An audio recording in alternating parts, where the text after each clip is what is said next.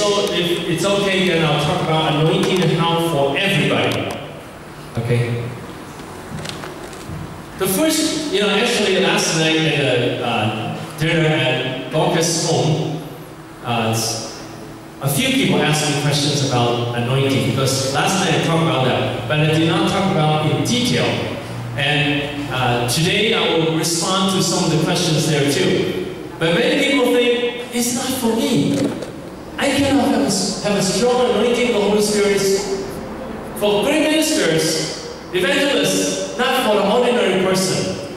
But my ministry, I train people. I, in Hong Kong, I train a group of people who are willing to serve God and have an anointing of the Holy Spirit and train them in every area of ministry, like preaching, counseling, leading worship, and uh, uh, different ministries. Uh, praying for people. And one belief I have, one, where do I base my belief? Is in Mark chapter 16. Mark chapter 16, starting verse 15, is very important. Because it says that, you know, go into the world, to all creation and preach the gospel. So that is the Great Commission. In verse 15 is the Great Commission. And then he who believes and is baptized will be saved. So it's talking about salvation. And then verse 17 talk about, and signs will follow those. Does it say signs will follow the pastors? Does it say signs will follow the pastors?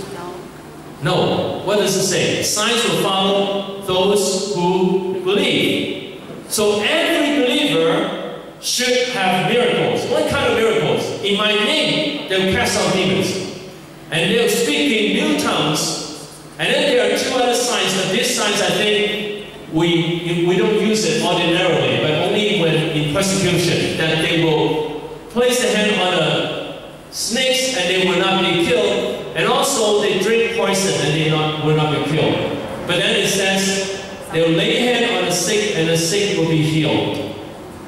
So here it talks about everyone who believes can have the power, the, uh, the power of the Holy Spirit, the promise of God to lay hand on the sick to be healed. And the purpose is what?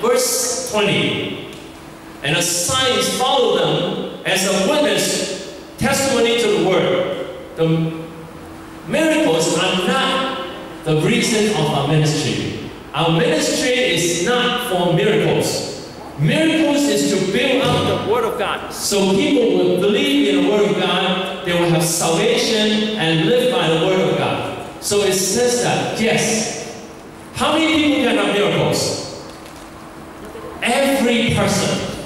Every person can have miracles, but some people will have gifts. In Romans, uh, no, in 1 Corinthians chapter 12, it talks about the gift of healing. So some people will have a stronger gift of healing. Not everyone have a strong gift of healing, but everyone has the promise. We can have miracles that follow us. And this miracles is not just healing of the body, it's the healing of the soul. It's the healing of the spiritual life and the revival of the spiritual life. Now this happened to me in 1998. I want to share what happened to me in 1998. At that time, I've been a Lutheran pastor for 15 years. I started serving in 1983. And in 1998, an evangelist laid hand on me in a meeting, a big meeting.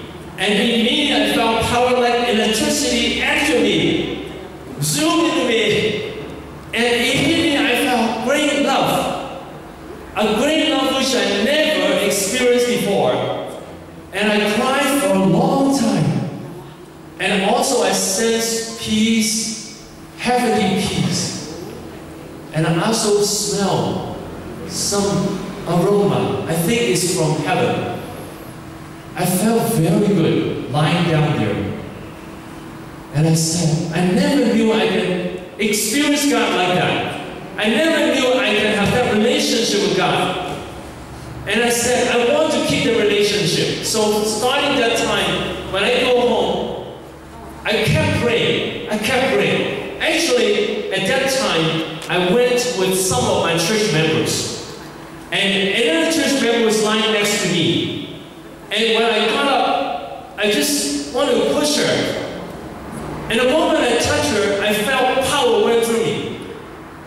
So even at that moment, the power of the Holy Spirit has come into me. And he, the power of the Holy Spirit can come into you too. And just, you know, and so the first thought is I want to have that close relationship so I can experience His love and peace, His presence anytime.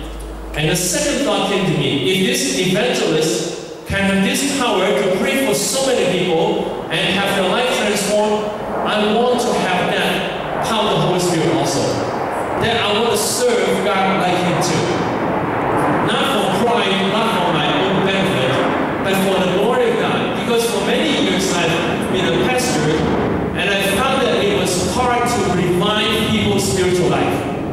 I haven't been raised up anyone for ministry for those 15 years. But after that, I have been able to raise up people to serve God. Even these few people who came with me, they, they're lay people in the church, and they don't think they can do anything great.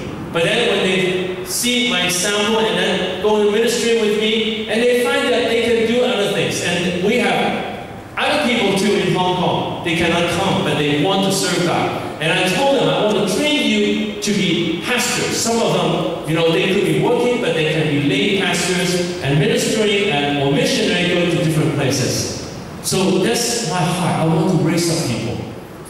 And at that time, I happened to read Benny Hinn's book called Anointing. And it says that Benny Hinn prayed for one year, every day for eight hours to ten hours. And I thought I'm going to pray like this for a year before I start to lay in on people. But just a few days after that, one member asked me to pray for She said she has evil spirit. When she went into the meeting, she felt evil spirit. When she went out, she did not feel anything. When she went in, she felt the evil spirit again inside her. And she asked me to cast out demons from her. And I said, why did you go to the meeting and, and accept the prayer of the pastor? She said, I, I was afraid. I did not. So laid hand on her. And also I laid hand on everyone who was present to protect, for protection. And they all said they experienced power. So it was God telling me, it's a gift from God. We don't have to wait for a long time, but we can build up the anointing. We can build up the anointing with time. But everyone can be trained with anointing. And after that, things happen. All kinds of miracles happen.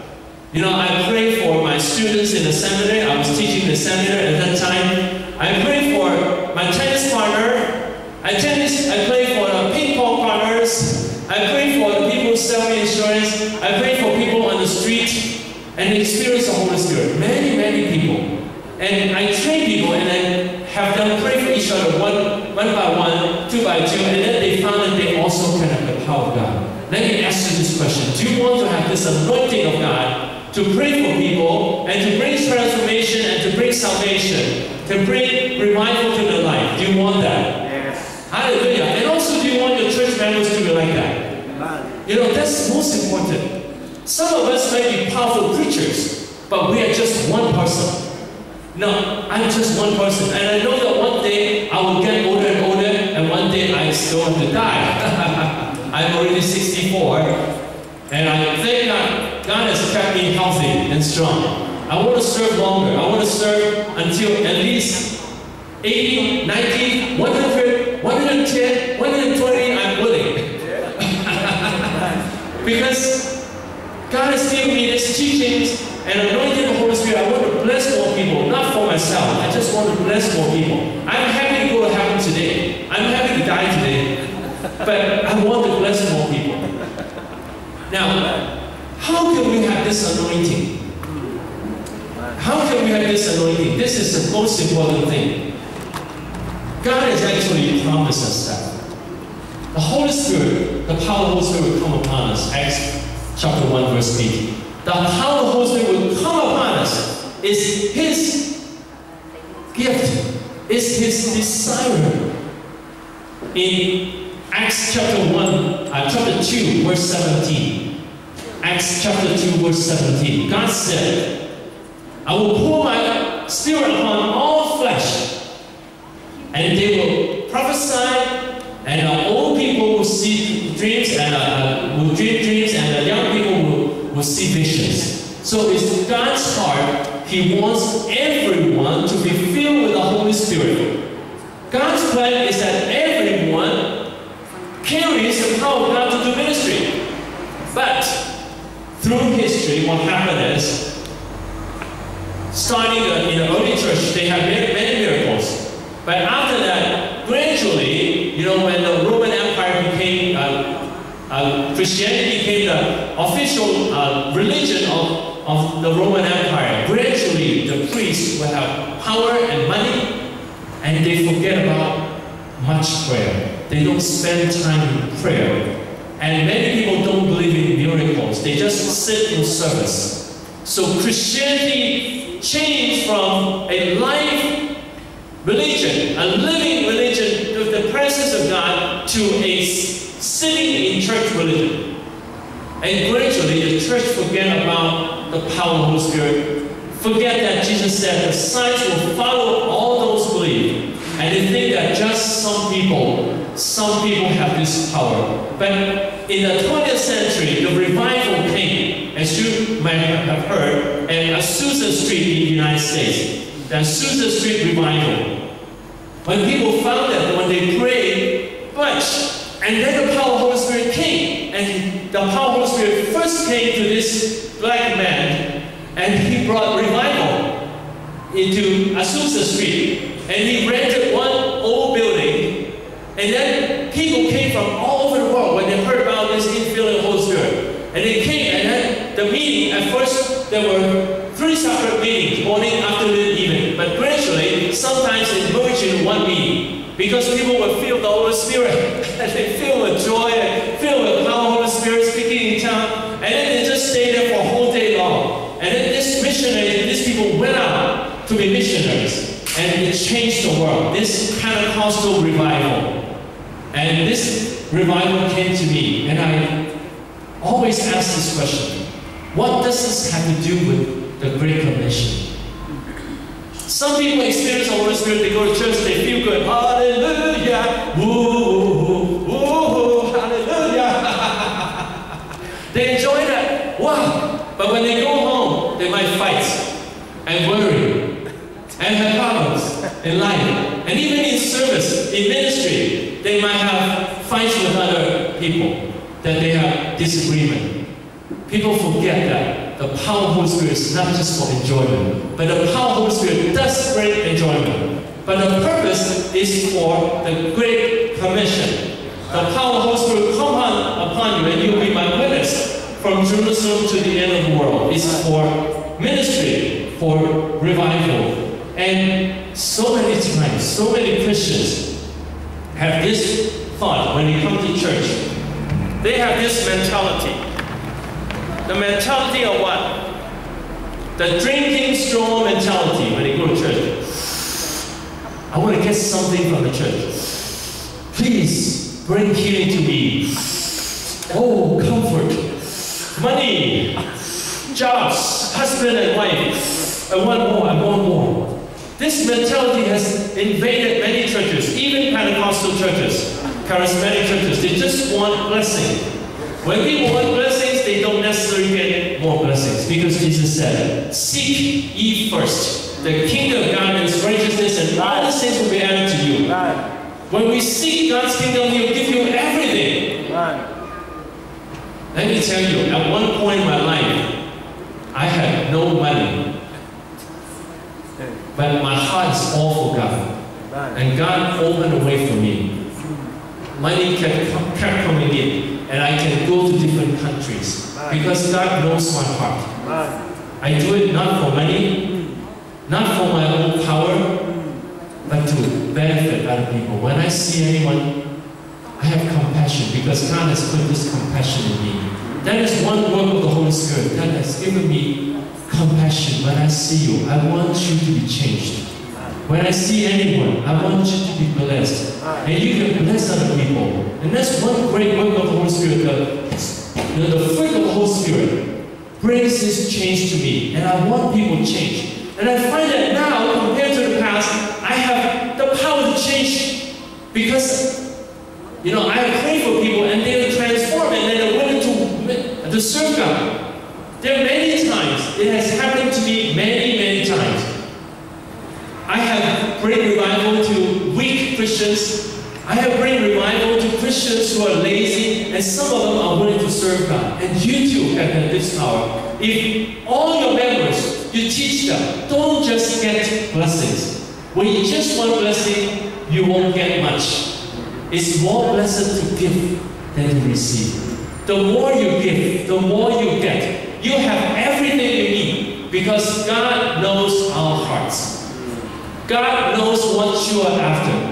Amen. When you are after money, God knows it. I mean, don't think that you can cheat God.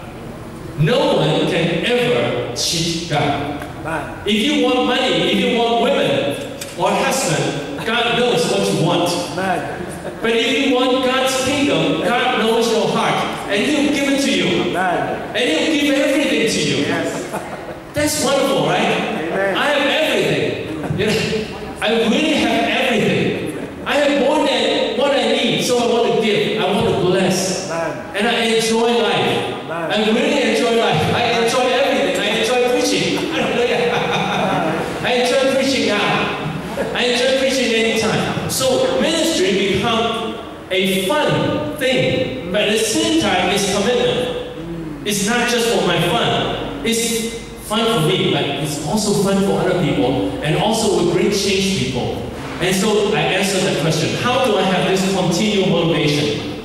First, from the Holy Spirit presence. Every time I pray now, it's joy will flow. Every time, Jesus, His joy will go up, and His power will go through my whole body. But anytime I can stop this shaking, you know, anytime I think of Jesus, my whole body will shake with the power of God. And I can have the love of God. Oh, His love will come to me.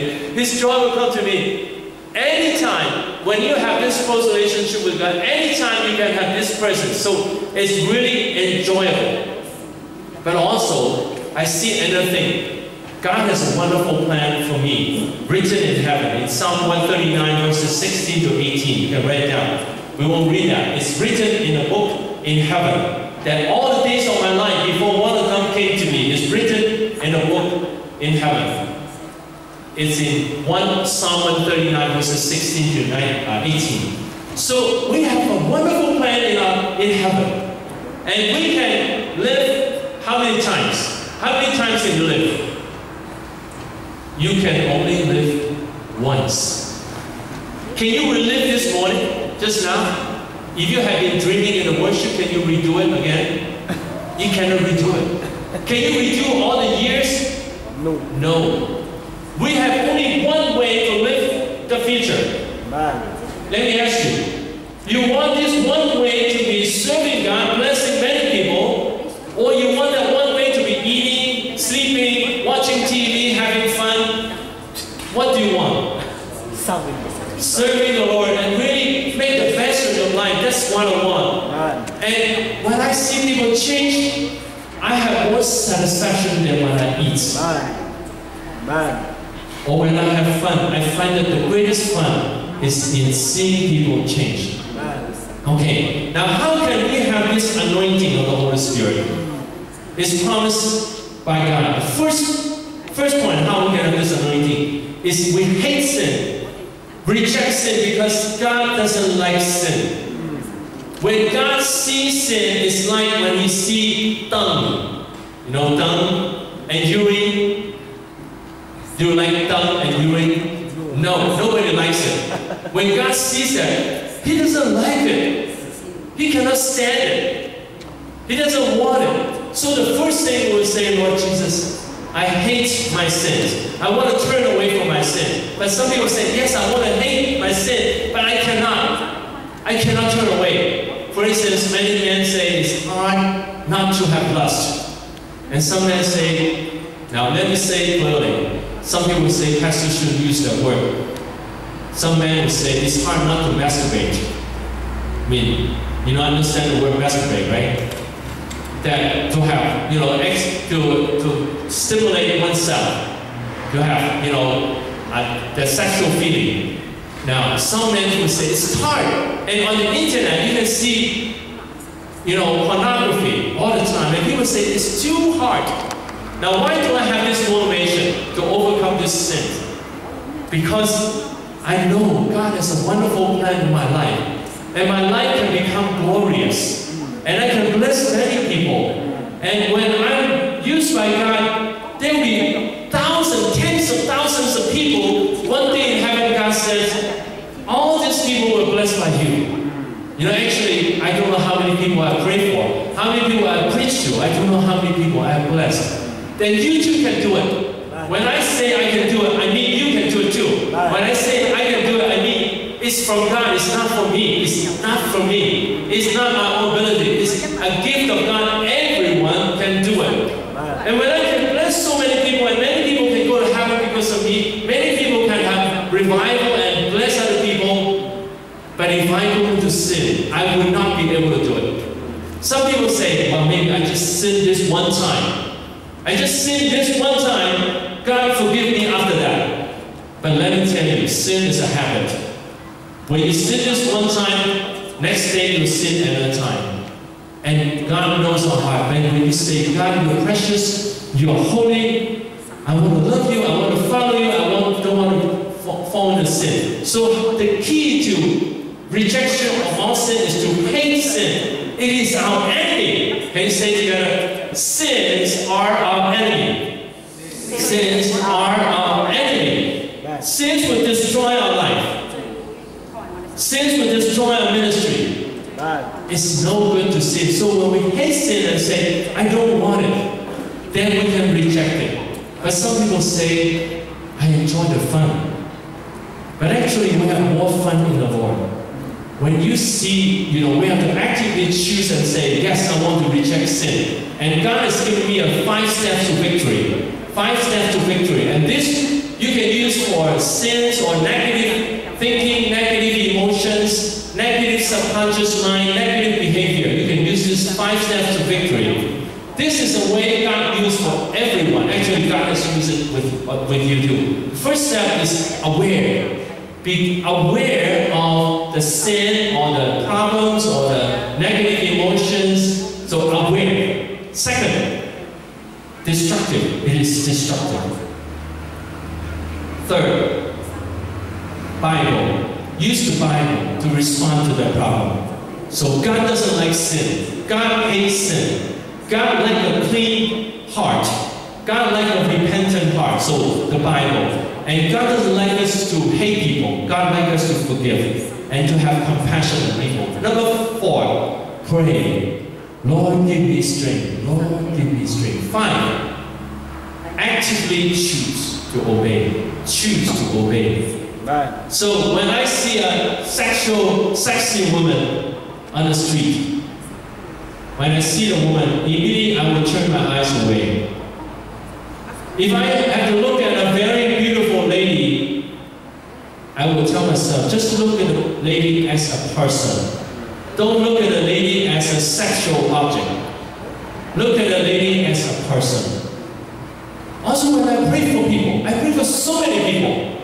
And some of these are very pretty women. And I say, if I pray for people and at the same time have lust, God doesn't like that. So I say, I concentrate my mind in God. Oh, you're so wonderful. I like God more than anything. And I have one great woman God has given me. My, my wife is so precious. And I want to build up a good relationship with her all the time. I want her to know that she is the most important woman in my life. That I won't, that I won't want to like any other woman. That I want to build my, my marriage. And she, and she really she loves me very much.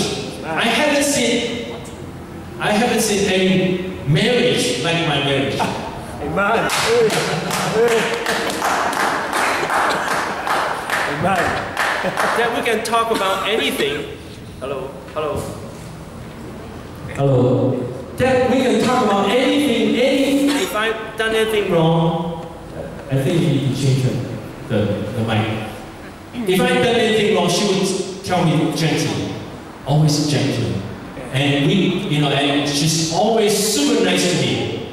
And when we go to the house, we will, uh, we, we will eat, eat, either one of us will try to get the slippers first for the other person.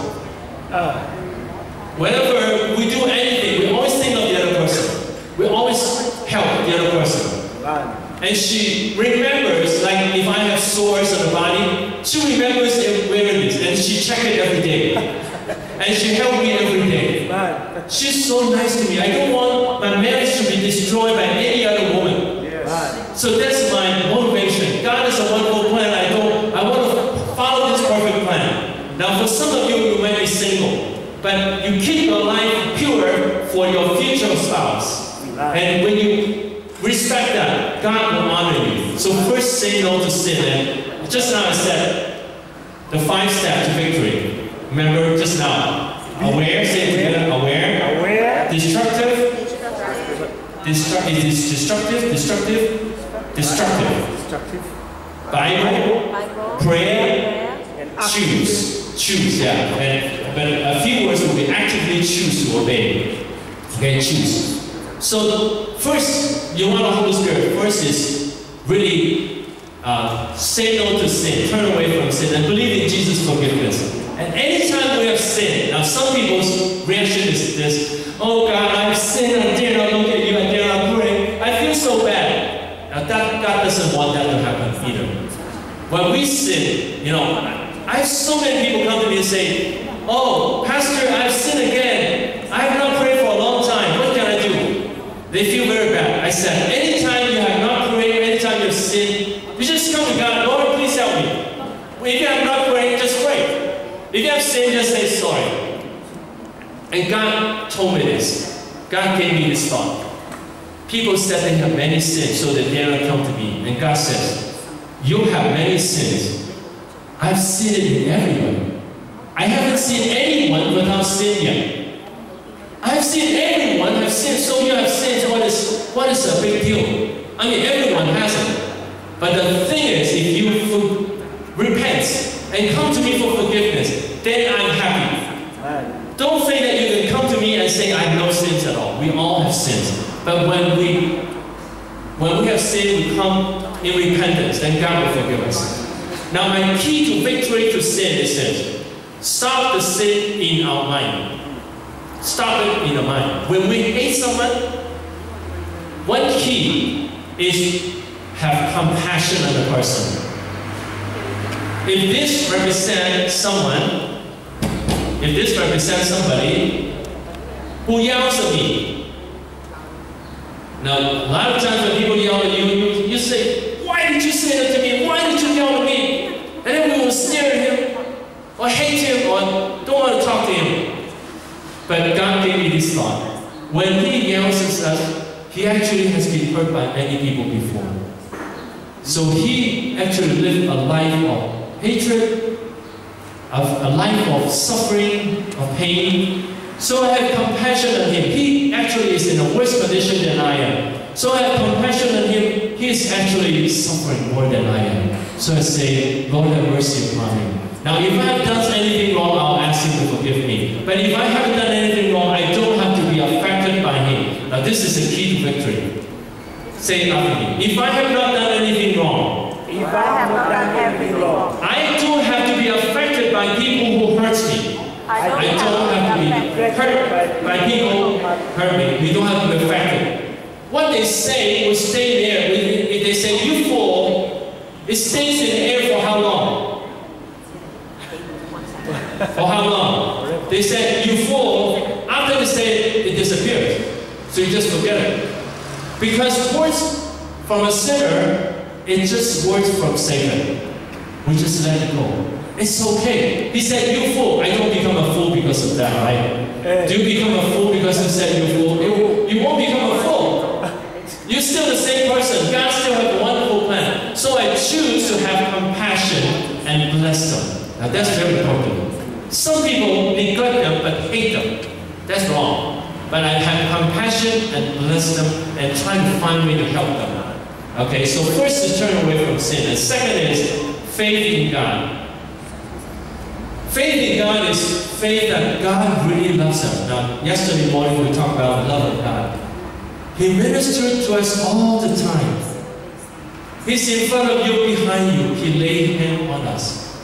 He remembers all the time, even though a, a mother who is feeding a, you know, uh, feeding a baby will not forget a baby. But I will never forget you. God will never forget us. So He always to us to the degree more than the slaves in the past. Amen. You know, many Africans have been taken to America or to other countries to be slaves, and they had to do anything the master told, told them to do. But God served us more than the slaves because God served us 24 hours every day and for eternity.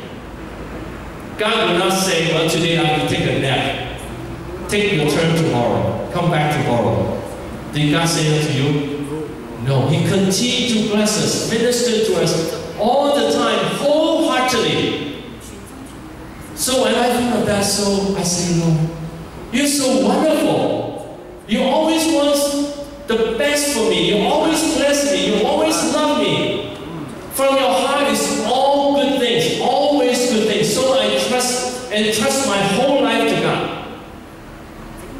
Know, I'm prepared for persecution.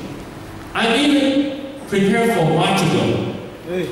Now, I don't seek martyrdom.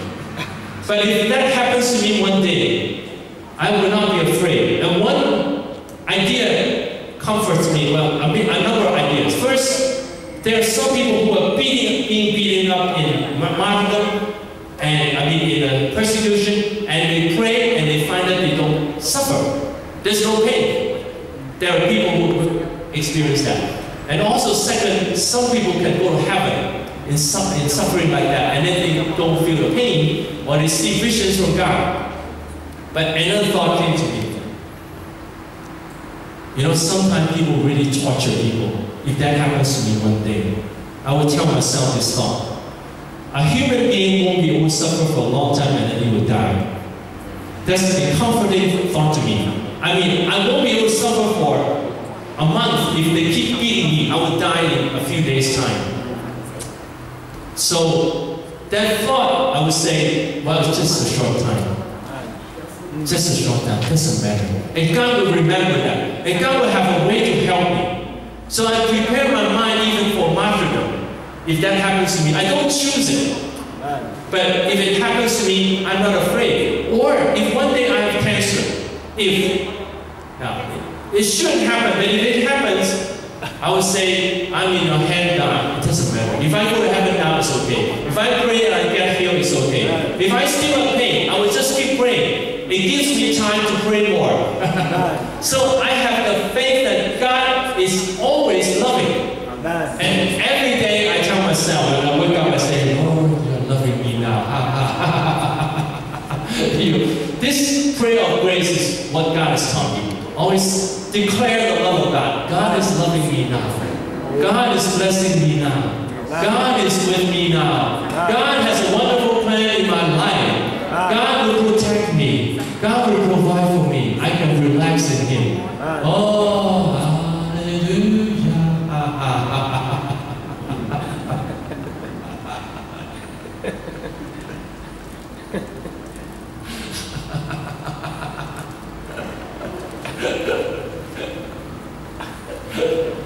If I open my heart, I can just keep laughing like this. And just open my heart and the joy will flow in. I have faith in God. It's very important when we come to the Lord, don't say, Lord, where are you? He's right here. He's waiting for you. Just say, Lord, you're so loving. You're so kind. Let me share with you. One person wrote about a famous person, famous pastor. And this person said, I want to hear how this pastor prays. I want to see how he relates to God. So he hid himself in a study of this pastor. And this pastor has a long time praying and reading the Bible. And at the end, the pastor said, Oh, Father. And this man saw that and said, Wow, this is great. This man really, this pastor really see God as his father, so we really enjoy the relationship. Now, when I heard that, saw that, I said, this is good. But I said, why not at the beginning? Why does he have to wait to the end? Then he say, Oh, Father. He can say right in the beginning, Oh, Father, you're right here. You're blessing me right now. You're blessing me all the time. Do you have this faith? Yes. That he's right here. God. Now, many have this faith because we suffer and then we say, God is not fair to me. God forgets me. God loves someone else more. It's a wrong concept put into our mind by Satan. That we say that suffering came from the lack of love of God. But I tell you, suffering, where does it come from? You read Genesis 3. It came from Adam's sin. And then when after Adam's sin, then when we work hard and the field will give us thorns and thistles. Working in the world, we have suffering. We all have suffering. It doesn't come from God giving you suffering. It comes from sin. It's from our sin and from the sin of other people. So don't say that God doesn't love us. So have this faith all the time. It's very important. Why do I have strength all the time? I respond to that question. Why do I have strength all the time? Because I know God loves me and He wants the best for me. He always blesses me. He always does wonderful. So I have I don't have to worry about anything. I can just enjoy every moment with Him. Faith. Believe that He loves us and believe that He wants to fill us with the Holy Spirit anytime. Don't think that it's hard. It's not hard at all. Because He wants to fill us. Okay, number three, the Bible. Now some people experience the Holy Spirit, forget about the Bible. They say, well, I have I have the Holy Spirit. Hallelujah. I don't need the Bible. But we still need the Bible. The Bible is the Word of God. The Bible tells God's heart, God's plan, God's way of thinking, God's way of, way of action. So the Word of God is very important. But many people believe in the Word of God and they preach about the Word of God, but sometimes we forget to apply it to every little detail in our lives. Let me tell you, I haven't heard many sermons about preaching about how to take care of negative emotions, how to take care of negative thoughts, how to take care of fights with people, how to take care of little simple thoughts in the mind that is not applied to the daily life in great detail. I encourage you to apply the Word of God to every detail. I don't want any kind of sin, any kind of anger, any kind of negative emotions, negative, any kind of negative things, any kind of negative behavior. I've seen great pastors when they are, you know, when people treat them well, then they're very in very good condition. But if someone treats them badly, they can get angry. So they have not paid attention to take care of anger inside. For me, sometimes people say negative things to me, straight to me. But when I see them, I'll say, why does he talk like that to me? What's the reason behind that? If I did anything wrong, I'll say sorry. But if I didn't do anything wrong, I say, okay, it's his problem. I don't have to do.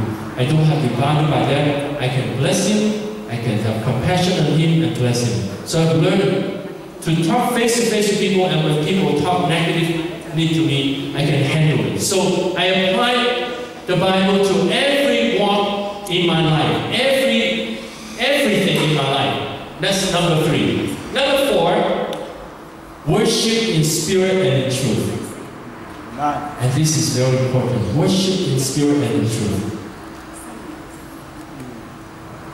Many people worship with the mouth, with the head, or just with action. There's nothing wrong with action. Oh, hallelujah! Oh, oh, oh, no problem. If you if you really worship God, but some people just like to dance. But uh, do you really think of God? Oh, Jesus, I love you, I love you, I love you, I love you. Is it from the heart? It's very important. But some people say it's very hard to worship in the spirit. So I separate the spirit and the soul. The soul includes the mind, the mind, the will, and uh, uh, sentiments or emotions. The mind, the will, the emotions. First, my mind totally agrees with the Bible.